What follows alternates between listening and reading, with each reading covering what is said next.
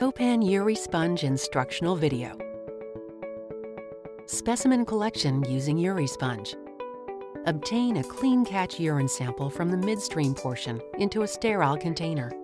Open the UriSponge tube and holding by the cap, dip the sponge applicator into the urine sample.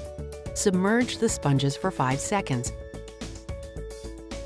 The polyurethane sponges are extremely hydrophilic and spontaneously absorb urine. Remove the sponge applicator from the urine sample and return it to the UriSponge tube. Do not add urine to the tube other than the urine spontaneously absorbed by the sponge. Screw the cap to securely close the container. Label and transport UriSponge specimens in accordance with institutional requirements.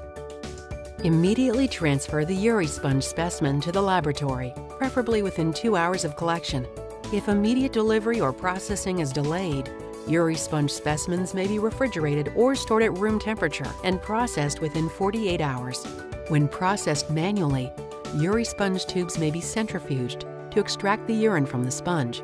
Centrifuge at 104 grams for 80 millimeter tubes and 149 grams for 100 millimeter tubes.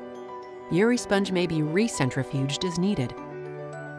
When processed on the WASP automated specimen processor, the built-in spinner will automatically rotate the samples to release the urine.